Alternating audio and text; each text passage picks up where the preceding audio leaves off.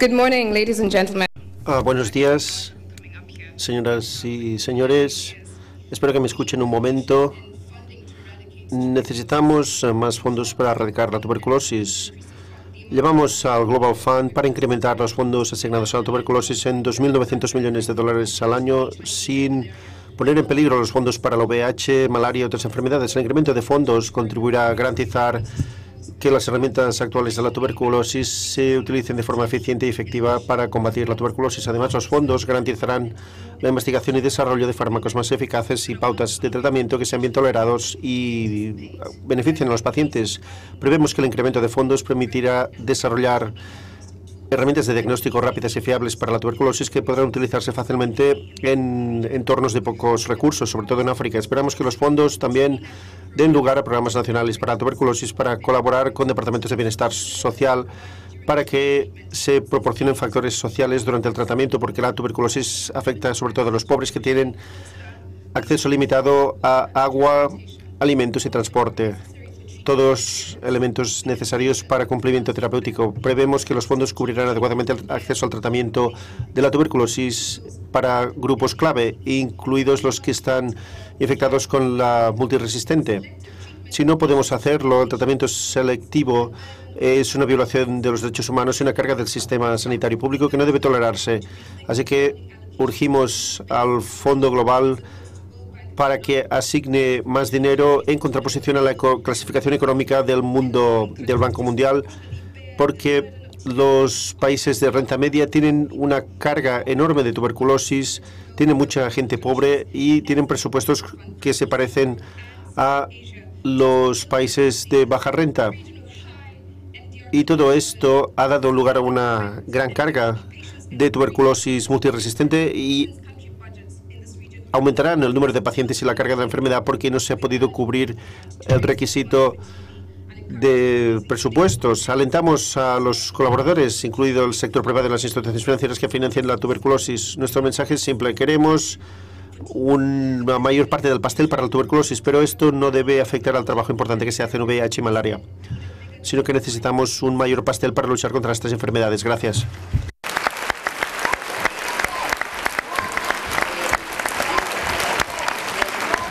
No, thank you. I'm on a diet.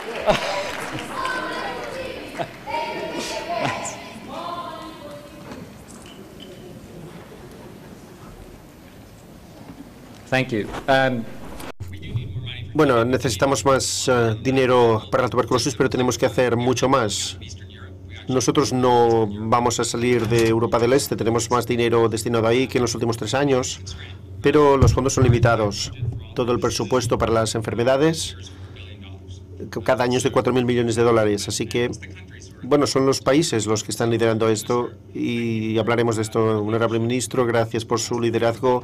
En los últimos cuatro meses y medio sabremos que hará con la tuberculosis lo que hizo con la polio. Es un privilegio compartir el escenario y también con los otros miembros de la mesa. El tema de esta ponencia es ah, derrotar la tuberculosis, un cambio de paradigma y cómo podemos utilizar el dinero que tenemos, entendiendo que tenemos necesitamos más para cumplir los objetivos y ser más inteligentes. Antes de empezar, quería dar las gracias a los que han dedicado sus vidas a la lucha contra la tuberculosis, incluyendo a las personas que estaban aquí exigiendo más dinero, sobre todo los colaboradores que han participado en estas presentaciones, la colaboración Stop TV, UNOSIDA, la OMS, etcétera. Bueno, ¿dónde estamos en cuanto a dónde queremos llegar y qué queremos conseguir? Aquí tenemos las proyecciones actuales que muchos conocerán. Si estamos, nos mantenemos en el camino actual, tendremos una reducción de 1,5% en las tasas de tuberculosis al año. Esto no es demasiado bueno para eliminar la tuberculosis y controlarla. Si optimizamos las herramientas que tenemos, podemos reducir la curva considerablemente según los modelos y con la vacuna y otros profilácticos podemos reducirlo incluso más. Creo que estas estimaciones quizá sean demasiado conservadoras. Esto no es aceptable, esto tampoco. Así que necesitamos mejores fármacos, una menor duración para la cura, menos toxicidad en los fármacos, necesitamos una vacuna y más recursos, pero No tenemos que empezar por aquí, tenemos que podemos empezar con lo que tenemos. Para la tuberculosis tenemos algo que no tenemos para el VIH, tratamiento curativo en seis meses y pronto probablemente en tres meses. Imaginemos el VIH tuviera un tratamiento curativo en seis meses o tres meses. ¿Creen que aceptaríamos una tasa de reducción del 1,5% de la infección al año? No. ¿O aceptaríamos estas tasas de reducción y erradicación en 2030 para la tuberculosis? No. Demandaríamos un tratamiento eficaz, utilizar el dinero que tenemos, después más dinero y terminar con la epidemia, porque con un tratamiento curativo de seis meses y después de tres meses estamos hablando de una reducción de 1,5% o reducciones en, 2035 y necesitamos más dinero. Pero ahora veamos las cifras y cómo defenderemos esto. Ahora hay 6.300 millones de dólares al año destinados a tuberculosis, 5.300 vienen de los países como India y necesitamos más dinero, pero decimos que se requieren 2.000 millones más al año, 2.900 más. Es un incremento del 25%. ¿Cómo podemos ir a los políticos y decir necesitamos un incremento del 25%? Porque pasaremos de una reducción del 1,5% al año a un 90% al año, 70%. Estas cifras no son correctas. Un incremento del 25% para pasar de 1,5 a 70 a 90%. Obviamente, tenemos que utilizar los recursos mejores si estas cifras tienen que tener sentido. Nadie defenderá 2.000 millones de dólares más, un incremento del 25%, si todo lo que tenemos con un 80% de fondos es una reducción del 1,5 o 1,6% en las infecciones. Entonces, ¿cómo utilizamos el dinero mejor de forma más inteligente y obtenemos resultados mejores? Tenemos que centrarnos en los puntos calientes bueno, hay un par de puntos de partida. Todos conocemos las cifras, 9 millones de casos estimados al año, identificamos 5,7 millones. Hay 3 millones que no se identifican y tenemos que llegar a estos casos. Y tenemos que tratar con los casos de nueva tuberculosis multiresistente. ¿Dónde están estos casos? Se concentran en varios países. No están muy distribuidos. Hay tuberculosis en muchos países, pero la proporción de personas que no detectamos está en un número relativamente pequeño de países y podemos profundizar mucho más que los países. Podemos entrar en los países donde están las nuevas infecciones. Esto es Camboya, pero lo podemos ver en cualquier sitio. No tenemos que ir a todos los sitios del país. Vamos donde están las nuevas infecciones, en azul. Y en el caso de Camboya, esto está muy relacionado con la pobreza, incluso en países de renta media y, alta. Hay gente que se olvida que trataré. Los casos multiresistentes son similares. Podemos ver en rojo aquí no hay que ir a todas partes, tenemos que ir donde están las nuevas infecciones. Y si vamos a donde están las nuevas infecciones, los recursos van mucho más allá. Pero no solo es la, es la geografía, es la gente también. Es uno de los problemas con algunas enfermedades e infecciones, como la tuberculosis, VIH y otras, que afectan desproporcionadamente a grupos marginales. Algunos incluyen mineros en Sudáfrica. Se calcula que casi el 33% o un tercio de nuevos casos de tuberculosis en el sur de África se deben a mineros que migran, porque van de una mina a otra, entre países, se van a casa, a veces tienen dos casas distintas, dejan de tomar los fármacos, van a otra mina en otro país, empiezan a tomar nuevos fármacos porque la pauta es distinta y repiten este patrón que disemina la tuberculosis y la multiresistente también. Por tanto, requerirá una estrategia entre varios países centrándose en gente en que no solemos centrarnos trabajadores migratorios de un país a un otro. Las presiones todo y instalaciones correccionales. Hay altas tasas de tuberculosis, 5 a 70 veces más altas que en la población general. Y es importante dar apoyo a programas en estas instalaciones penitenciarias, como por ejemplo en Sudáfrica se está haciendo.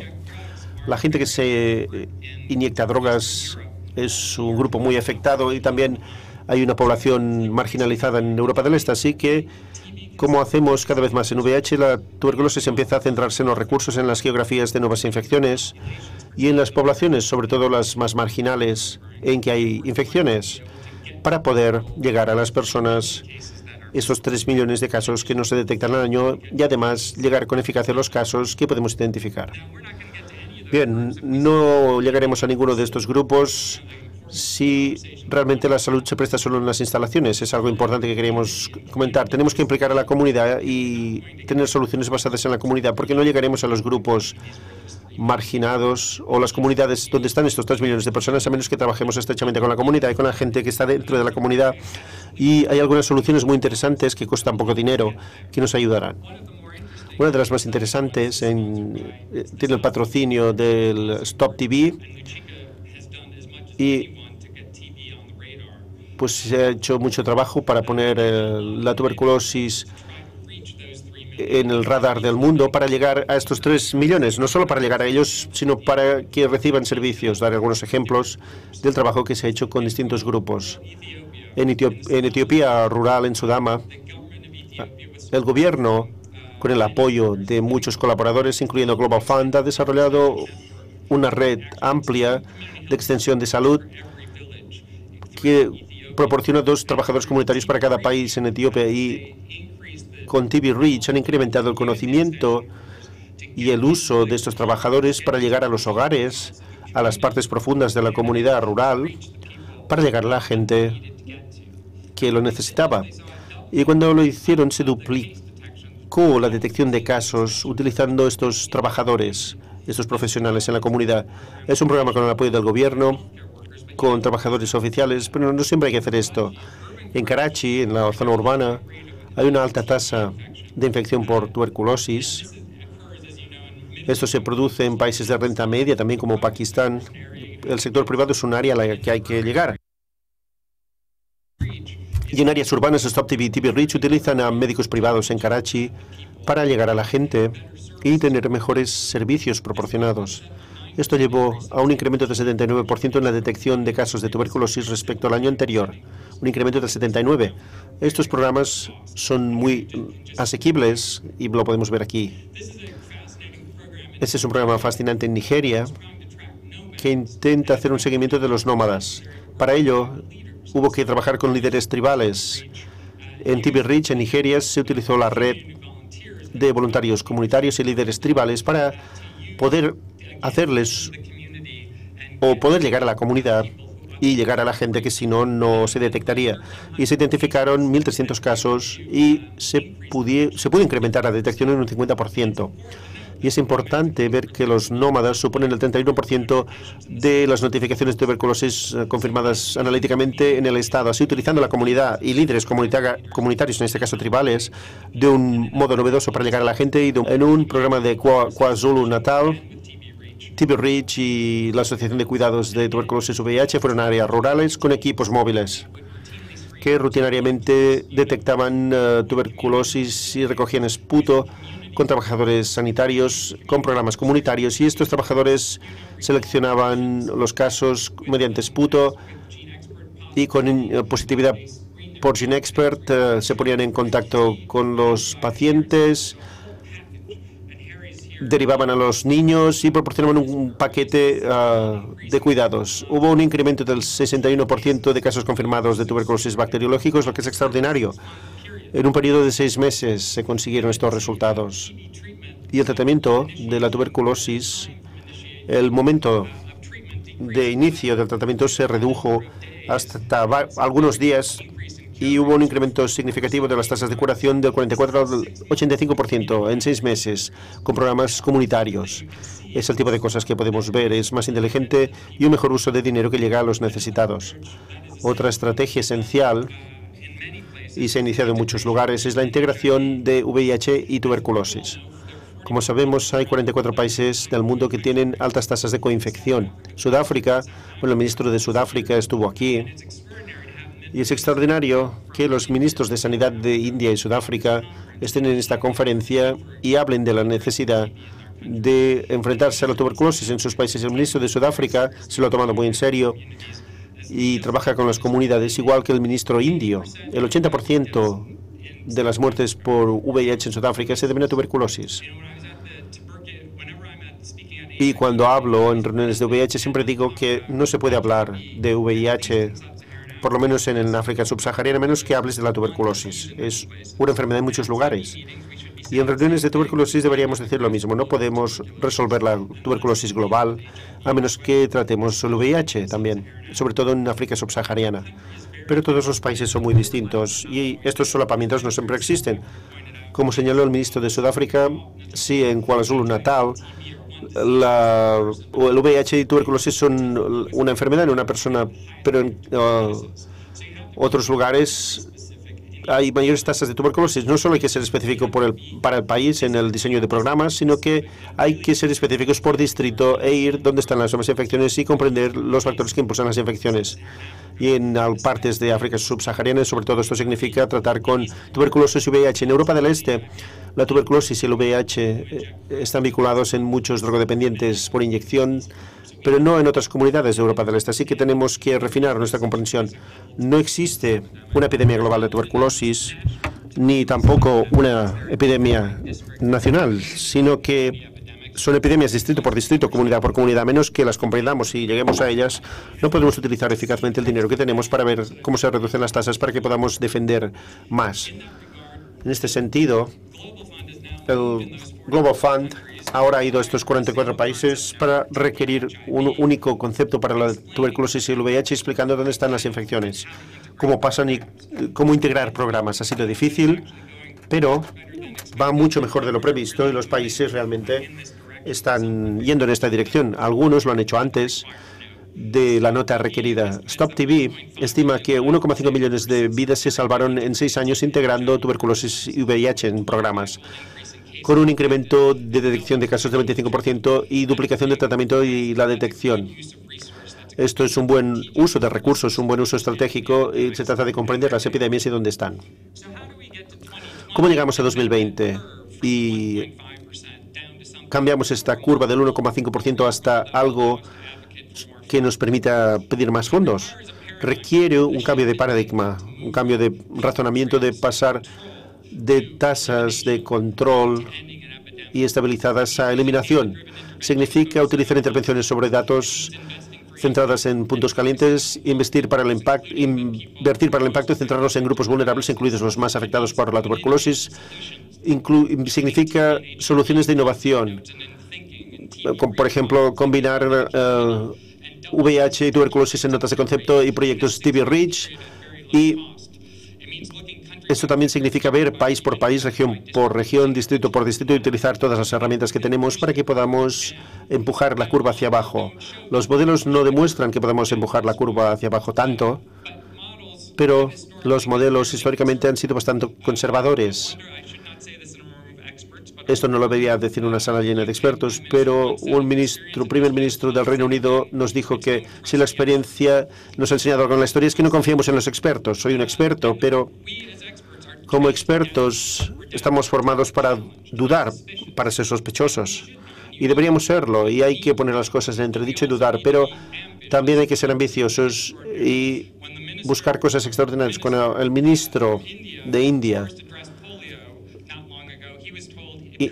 se enfrentó a la polio antes, dijo que no se podía conseguir, pero inmunizó todo el país y eliminar la polio a pesar de que todo el mundo decía que no se podía. En VIH cuando empezamos hace 13 años, nos, 13 años nos dijeron que solo tendríamos algunos cientos de miles de personas tratados en antirretrovirales en países de renta media y baja. Ahora tenemos 13 millones. Los modelos no te indican el futuro. Si utilizamos bien el dinero, si somos estratégicos y nos centramos, lo podemos hacer. Todos conocemos bien la sanidad pública. Solo hemos erradicado dos enfermedades infecciosas del planeta. Una enfermedad humana la viruela y otra la zoonótica, la Rinderpest.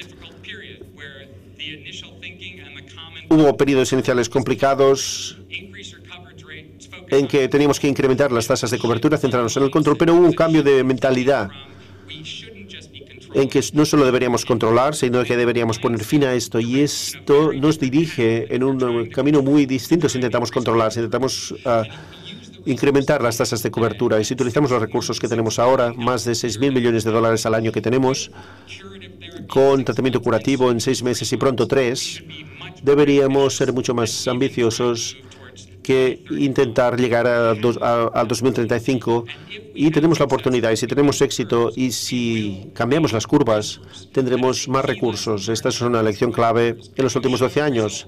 Si demuestras resultados tienes más dinero.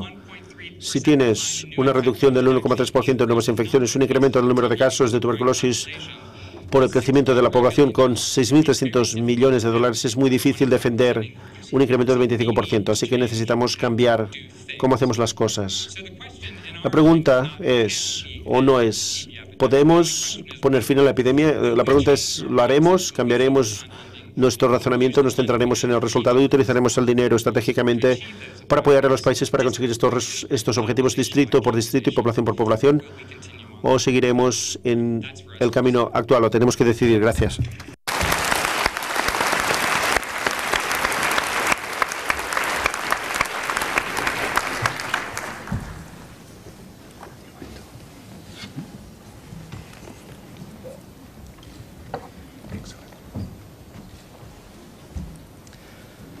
So for me, it's a great honor to, to introduce Es un honor presentar a alguien que no necesita presentación, profesor Kaufman.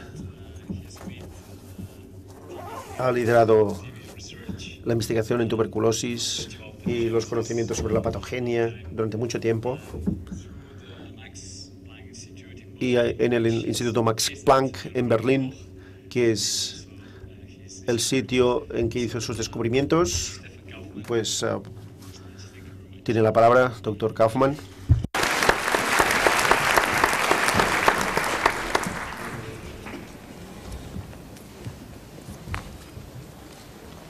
Good morning and thanks. Buenos días y gracias por su interés en cómo obtener dinero para resolver el problema y cambiar nuestra mentalidad, como se acaba de decir, pero también su interés por cómo podría haber una reciprocidad entre estudios clínicos e investigación básica. Y esto es lo que voy a comentar en los siguientes minutos con el ejemplo de desarrollo de vacunas. Esta es la renuncia de responsabilidades o conflicto de intereses. Soy asesor de ERAS, TB Alliance y de CTP, sin ánimo de lucro, asesor de Kiegen, una vacuna que trabaja y también, bueno, para otros que han inventado la vacuna de la tuberculosis, hablaré de ello. La tuberculosis ha afectado a Europa en los últimos miles de años y durante mil años, en realidad, si creemos a los escritores contemporáneos, hubo una cura. La primera, o el primero que llevó a cabo esta cura fue el rey Clovis, mediante el toque real en el siglo V y el que tuvo más éxito, la cura más éxito, de más éxito pasó cuando Luis XIII, a los 10 años, curó a más de mil personas. Por lo menos es lo que nos dicen los cronistas de esos tiempos. Pero seguro que algo no funcionó bien porque al final se murió de tuberculosis él. Y todos estos casos eran escrofilosis, de que no hablamos demasiado porque es una enfermedad rara. Por tanto, es interesante que en 800, hace 800 años alguien catalán ya adoptara una estrategia científica, Arnau de Vilanova, que dijo que estas escrófulas visibles, que son ganglios linfáticos hinchados, indicaban que tenemos lesiones similares en el cuerpo, como los pacientes tuberculosos lo tienen en los pulmones. Pero hubo avances científicos en el 1882. Koch describió la etiología de la tuberculosis y para muchos Robert Koch es el cazador de gérmenes o bacterias en el mundo. No solo descubrió la etiología de la tuberculosis, sino también la etiología de las infecciones de heridas. Fue complicado porque había varios patógenos, la etiología del antrax y del cólera, pero era mucho más. Era el que aclaró que es un contagio, un pequeño microbio que provoca la enfermedad, no los gases o el miasma del mundo, y demostró que los microorganismos son clonales, son clones y por tanto son invariables. Demostró que son invasores exógenos, no como el cáncer, algo que entra en las células anfitriones, y después formuló los postulados de Koch, que no comentaré, y después finalmente desarrolló las medidas de sanidad pública para prevenir enfermedades como el cólera, algo que es actualmente muy importante a tenor de la crisis del ébola. Y ahora voy a hablar un poco bueno, esto es un esquema simplificado de inmunología porque la vacunología tiene mucho que ver con la inmunología. Los patógenos entran en el anfitrión, en el pulmón, y los linfocitos T son estimulados por las células que los rodean, macrófagos y células dendríticas, y tenemos los linfocitos CD4 y CD8 que se vuelven linfocitos efectores, pero además tienen que ser también de memoria para seguir protegiendo durante años y décadas. Por tanto, los granulomas se desarrollan en el pulmón y se componen de linfocitos T de distintos tipos de macrófagos, fagocitos y contienen las bacterias. Y al contener esto, aquí tenemos subyacente la tuberculosis. Te infectas, pero estás sano. En la fase tardía, con la regulación en la parte baja, hay algo que va mal. Solo va mal en un 5% más o menos de gente infectada, pero es suficiente para que haya 9 millones de casos al año. Así que es una regulación endógena que provoca una descomposición del sistema inmunitario o coinfección, sobre todo VIH, y esto provoca granuloma, diseminación del patógeno, el paciente está enfermo, obviamente se ha desarrollado tuberculosis activa y el paciente también es contagioso. Hay otras personas que pueden infectarse. Veamos las vacunas actualmente en desarrollo. Primero, tenemos vacunas preexposición para prevenir la tuberculosis. Se administran antes de la infección y mantienen una respuesta inmunitaria protectora mientras sea posible. También hay vacunas post-exposición, se dan después de la infección a adolescentes y adultos son muy similares, intentan prevenir la infección y finalmente un par de candidatos terapéuticos para curar la tuberculosis, uno de ellos desarrollado por el presidente, el señor Ruti. No entraré en los candidatos, pero todos son candidatos y no han probado que sean lo que queremos que sean. Es decir, vacunas protectoras o preventivas. Bueno, repetiré, hay vacunas que se administran antes de la exposición, antes de la infección, solo evitan enfermedad en casos ideales, pero más tarde quisiéramos que previnieran la infección y después hay vacunas post-infección que previenen la enfermedad, idealmente erradicación en un día y finalmente curación de la enfermedad. Ahora es dar un ejemplo de cómo intentamos utilizar la ciencia para desarrollar una vacuna que entre también en ensayos clínicos y ahora está bastante avanzada en un ensayo en fase 2, que es una vacuna basada en BCG recombinante. Se cambió mediante tecnología recombinante para que fuera más inmunogénica y segura como candidato a vacuna. BCG, el BCG se localiza después de fagocitarse en los vacuolos de los macrófagos y aquí el BCG segrega células anti-CD4 para estimularlas y ya está. Pero la tuberculosis egresa en el citosol y se estimulan las células CD8 también ahí. Por lo tanto, pensamos que deberíamos dotar a BCG de la capacidad de ser más inmunogénico en estimular a los linfocitos CD4 y CD8. Y lo que hicimos fue aprender de otro microorganismo, Stermonias autogenis, que provoca esterolacina, que sí que perfora la membrana y por lo tanto permite la activación no solo de linfocitos CD4, sino también CD8. Así que ahora tenemos un BCG que expresa la y por lo tanto estimula a los linfocitos CD4 y CD8 por distintos mecanismos, agresión de antígeno en el citosol, pero también hace un cross-priming y recientemente vimos que esto provoca estimulación de linfocitos CD8, pero también CD4 de distinto tipo, sobre todo TH1, que son los mediadores de protección según el razonamiento canónico, pero también eh, los TH17. Y vimos también que la autofagia parece ser un mecanismo central porque la perforación de la membrana permite egresión de ácidos nucleicos de doble hebra, ADN en el citosol. Esto es detectado por un inflamasoma, pero también por STING, y esto provoca un efecto, un entorno inmunoestimulador muy profundo que permite la estimulación de linfocitos T de 4 a CD8. Bien, esto es en cuanto al priming de linfocitos T, pero lo que cada vez es más interesante es tener memoria para una respuesta inmunitaria sostenida. Hay tres tipos de linfocitos de memoria, como nos ha enseñado la inmunología. Los efectores, los centrales y finalmente los eh, linfocitos de memoria residentes. Como vemos, los residentes se localizan en el pulmón como residentes y quizás se activen inadecuadamente por la tuberculosis, pero no son activados por vacunas que se administran a través o por vía subcutánea o intradérmica. Lo que queremos es un linfocito efector o central que después se convierta en uno residente.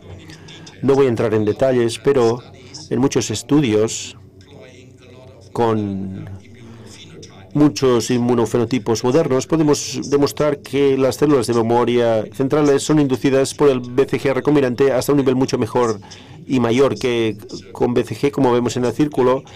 Y lo más importante es que muy pocos de estos linfocitos de memoria central son suficientes para conferir protección. Estos son linfocitos centrales de una única especificidad para un epítopo de antígeno 85B, uno de los principales de tuberculosis. Y estos linfocitos T por sí solos, bueno, no digo que estos linfocitos T sean los finales de memoria, pero parece que pueden migrar al pulmón, donde entonces inducen inmunidad protectora. ¿Dónde estamos en el desarrollo? Nuestra vacuna es eficiente y segura.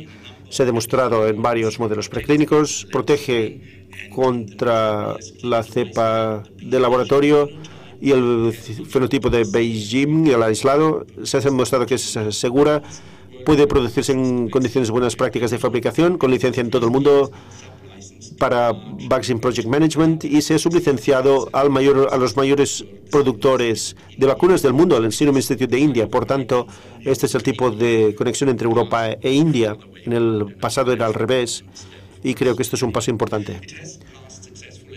Ha pasado un ensayo de fase 1 en Alemania con éxito, después otro de seguridad e inmunogenia en Sudáfrica, uno de fase 2A también en Sudáfrica, en recién nacidos, la población diana para este tipo de vacuna, y se ha presentado para un segundo ensayo en fase 2 en un gran grupo de recién nacidos en madres uh, positivas y negativas por VIH. La prevención de la tuberculosis activa es buena, si funciona, y nosotros y otros candidatos a vacuna tienen este objetivo, pero podemos mejorar.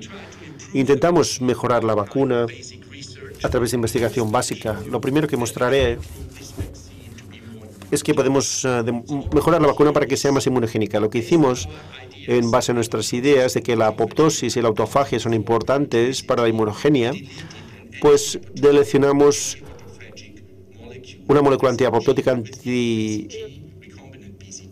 uh, anti autofágica.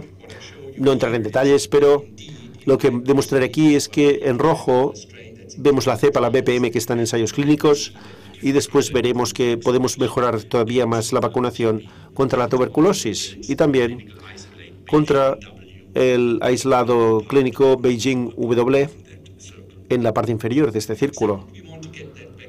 Y después queríamos que la vacuna fuera más segura porque la queremos aplicar en personas VIH positivas y tiene que ser lo más segura posible. Por lo tanto, lo que hicimos aquí fue deleccionar la vacuna o eliminar su capacidad de producir vitamina B6.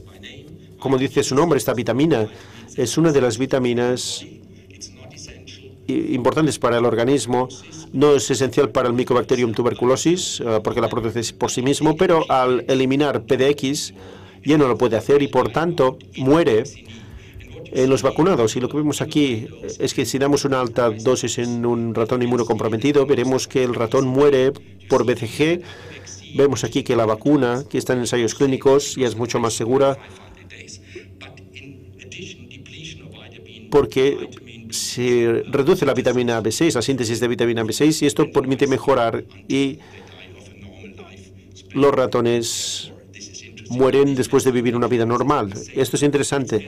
Es una vacuna segura, es tan buena como BCG, pero ha perdido la eficacia adicional de la vacuna que proporciona BPM por las deleciones.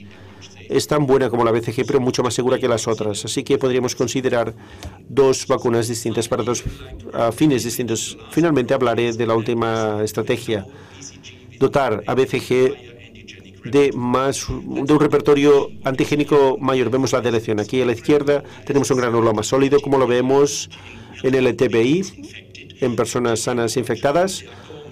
Las bacterias están controladas, durmientes, producen antígenos y genes, expresión en genes típicos para una bacteria durmiente. En la enfermedad activa, no obstante, las micobacterias activas producen distintos tipos de productos génicos porque son metabólicamente activos y replicativos. Debemos tener en cuenta, por tanto, que la tuberculosis, como muchos parásitos, eh, tiene dos estadios, el quiescente, durmiente, el estadio activo, que es más o menos activo, y esto es importante para las vacunas de tuberculosis porque refleja distintos estadios y antígenos. En el granuloma sólido se requieren antígenos para cuando están en estado durmiente, quiescente, pero la tuberculosis activa se caracteriza por antígenos activos. El BCG no expresa el antígeno contra el estado durmiente y pensamos que pondríamos los genes en un sistema de expresión mayor. Los genes están ahí, pero hay que expresarlos de un modo más elevado.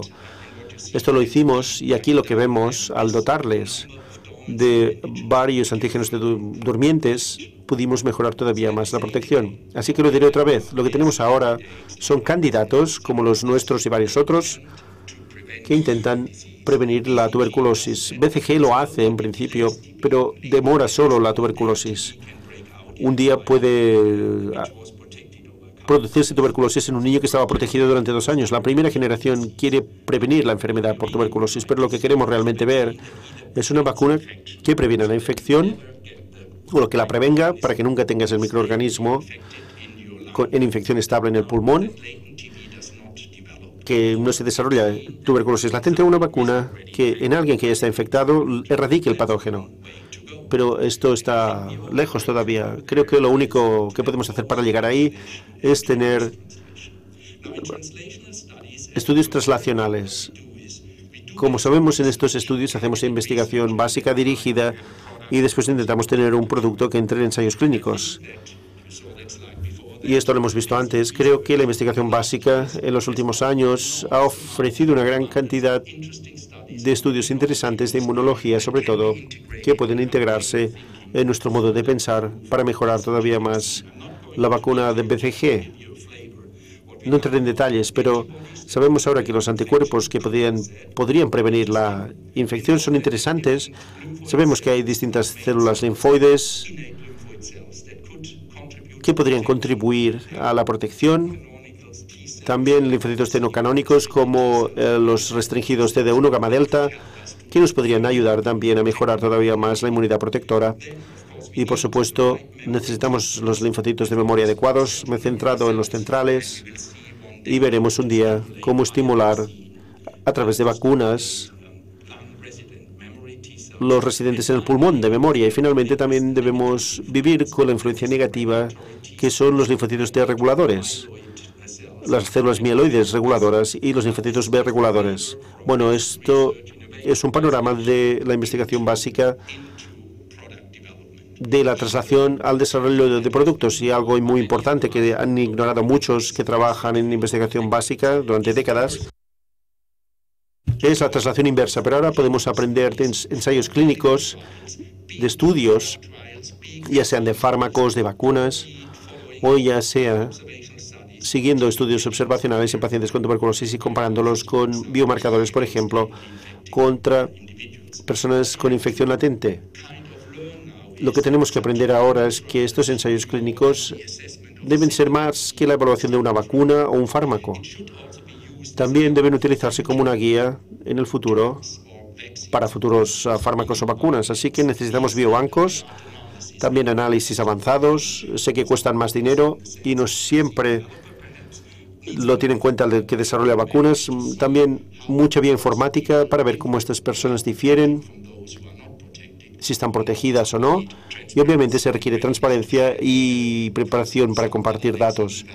porque algunos otros desarrolladores de vacunas pueden aprender cosas para que puedan aprender en el futuro de ensayos. Queremos una estrategia iterativa en la investigación básica para generar conocimiento y estudios clínicos para generar desarrollo acelerado de productos. Estoy convencido de que solo funcionará si ambas se combinan e intentamos que haya intercambio de información, aunque a veces hablemos con un idioma distinto. Quiero mencionar brevemente los que han contribuido a las diapositivas, los investigadores del departamento, Martin Gangbecher, que está en Singapur, Steve Rees, que trabaja para la empresa ahora, Alex Borgolzang de Australia y Hiroyuki Saiga de Japón, que han trabajado en los estudios que he mencionado en el laboratorio. Tenemos muchas colaboraciones con ensayos, el equipo de, ensayo clínico de vacunas, Mark, uh, Lander Grode de Alemania, Mark Cotton y colegas de Stanford University y el programa Grand Challenge de biomarcadores. Que quiero dar las gracias a todo el equipo. Cada día voy a este instituto y paso por aquí donde Koch hacía esos ensayos clínicos y aquí estudiaba el desarrollo de la tuberculosis y la etiología de la tuberculosis. Y hay otro lugar, bueno, el edificio no está ahí.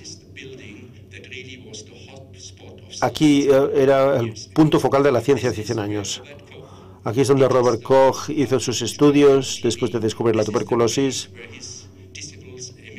Es aquí donde sus discípulos, uh, y Ehrlich, uh, trabajaron, les dieron el Nobel, el Berlin, Bering fue el primero en recibirlo en 1901 y Erich en 1908. Este instituto se creó porque en esos tiempos la gente creía que la ciencia podía contribuir al desarrollo de medidas de intervención contra enfermedades como la tuberculosis. También se hizo de forma similar en el Instituto Pasteur donde Menchnikov pudo hacer investigación básica porque se había creado un instituto por el éxito de Louis Pasteur de sus estudios de investigación en enfermedades infecciosas. Así que creo que realmente tenemos que hacer investigación básica en tuberculosis porque creemos que todo esto impulsa las medidas de intervención, pero en este caso el éxito en ensayos clínicos había impulsado la investigación básica y para terminar quiero dar gracias a DZK y la Unión por apoyar a Robert Koch Lecture y muchas gracias por su atención.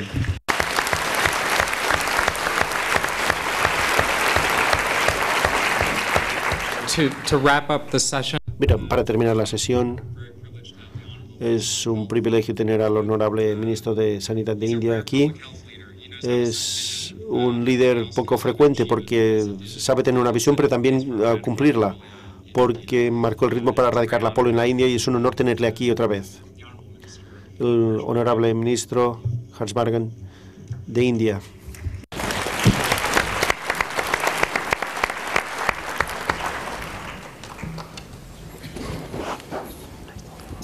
My colleagues on the dais.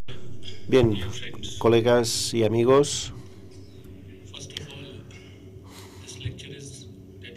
dedico esta conferencia a Robert Koch para hacer un humilde tributo a su memoria y felicito a los ponentes por sus presentaciones. Le deseo al doctor Kaufman todo el éxito porque pronto nos dará una vacuna y podremos vencer la tuberculosis mucho más rápido. Toda esta ponencia se basaba en muchas cosas que no podía comprender, pero algo que sí podía entender era el uso óptimo del dinero y una mejor implicación de la comunidad. Y, por supuesto, nuestro científico distinguido ha hablado del desarrollo de la vacuna y su historia. En los años he creído que algo que es crítico para el éxito de un programa. Bueno, el otro día hablé del poder de creer, el poder de la comunicación, etcétera. Pero Por encima de estos poderes, el más importante es el poder de la motivación. Y yo en los años he visto que si podemos utilizar este poder para básicamente eh, despertar al Dios dentro de cada persona, hay una bondad inherente en todos. No importa cómo sea la persona, pero tienen una bondad inherente. Y hay un Dios dentro de todos. Si podemos despertar este Dios y motivar a la persona, y cuando hablamos de la persona, no es una persona en la comunidad. Yo tengo muchos ejemplos que he vivido de primera mano en la campaña de erradicación de la polio. Y nos reunimos con una persona durante media hora y le convencimos del problema de millones de niños paralizados por la polio. Y con esto pudimos convencer a esta persona de que nos diera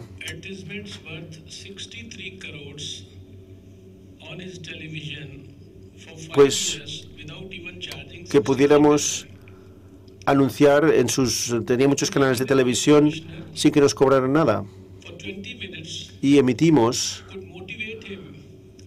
o esta reunión le motivó para que también uh, pusiera a trabajar a 52.000 agentes de policía. Y en el día de la inmunización contra la polio, estos agentes no estaban haciendo el trabajo rutinario que se suponía que tenían que hacer, sino que recogían a niños de hogares de los pobres y les llevaban al centro de polio. Y dedicaron todos los canales de comunicación para ver si alguien se tenía que vacunar, llamabas a un número y se transmitía el mensaje. Y básicamente esto fue algo que repercutió en nuestro beneficio, con una única reunión con el director de educación también. Le pudimos motivar, aparte de estos otros casos, y pudimos conseguir que movilizara a dos millones de escolares que a los que les dieron los deberes de volver a su comunidad.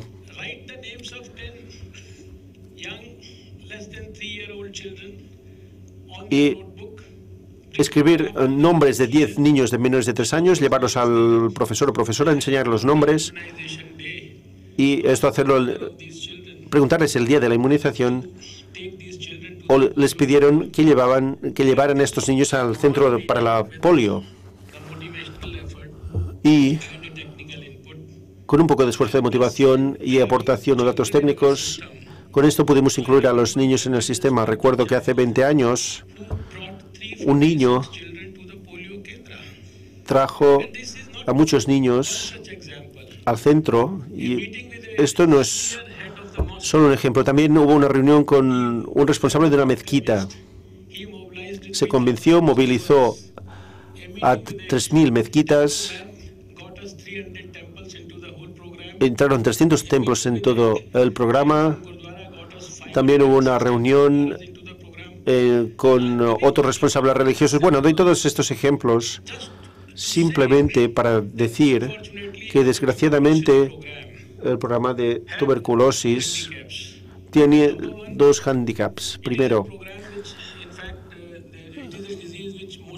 es una enfermedad que sobre todo afecta a pobres. No tienen la voz como la que tuvimos cuando todo el mundo fue afectado por el VIH. Pero estoy muy contento de ver a estas eh, mujeres jóvenes que han empezado a gritar por la tuberculosis, por los fondos. Y otra cosa negativa es que los ricos, si tienen tuberculosis, creen que no pueden tenerla y por eso el programa sigue sufriendo. Yo creo firmemente que existe la necesidad de que todos nosotros volvamos a nuestros países y pensemos en modos innovadores con los que podamos garantizar que estos 3 millones de personas que no se detectan, según el informe de la OMS, pues que cuando volvamos aquí, después de un año, no haya una sola persona en el mundo que no se diagnostique. Y una vez se detecten, entonces no solo se trata del dinero que tenemos en el fondo global o el del país, sino que hay que ver el dinero que también tienen otros, porque solo es vuestro poder de comunicación y de motivarles lo que puede ayudarles a aportar este dinero para cuidar a pacientes con tuberculosis. No es algo muy complicado esto de lo que estoy hablando. Estoy hablando de lo que hemos hecho y lo que hemos podido demostrar con éxito. Y esto es lo que vamos a hacer también en la tuberculosis. Yo prometo que queremos que el movimiento de la tuberculosis sea uno de los mayores movimientos sociales en salud en los próximos años. Necesitamos vuestro apoyo y estoy seguro de que vosotros sois personas muy comprometidas. Porque a la gente le encanta ir a las conferencias de estas enfermedades, de diabetes, endocrinología, muchas uh, enfermedades neurológicas, etcétera, pero hay gente que ha acudido a la Unión durante 94 años por la causa de la tuberculosis y en los últimos tres días he visto que la gente que acude aquí tiene la sinceridad y realmente lo sienten de corazón. Tienen el potencial para desarrollar un instinto asesino para eliminar la tuberculosis del mundo. Y es este celo el que pediría a todos que volvieran, y creo que Mark y el doctor Hoffman ya nos han dicho claramente que tenemos un modo de hacerlo, tenemos el mecanismo, tenemos la estrategia y nuestro sueño no puede dejarse sin cumplir. Estoy seguro de que volveréis con nuevo entusiasmo y todos estos avances, todas estas evaluaciones que se han realizado en esta conferencia no se perderán, no se convertirán parte de una historia academia, académica de otro capítulo añadido a los 94 años de historia de la Unión.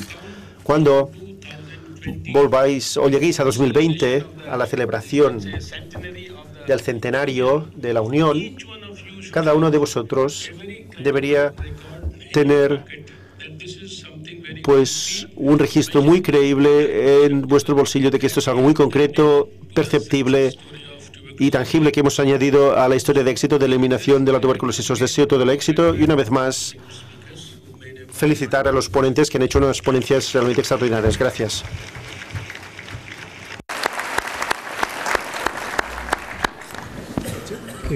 Thank you very much for your assistance. Gracias por su asistencia. Good.